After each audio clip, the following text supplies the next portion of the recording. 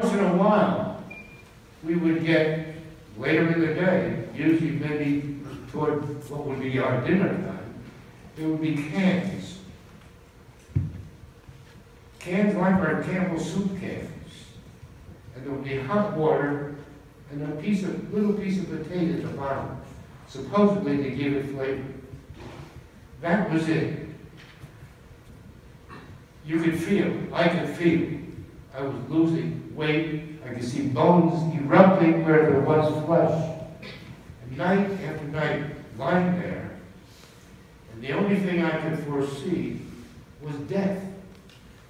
Death from starvation combined with exposure. How long can you last?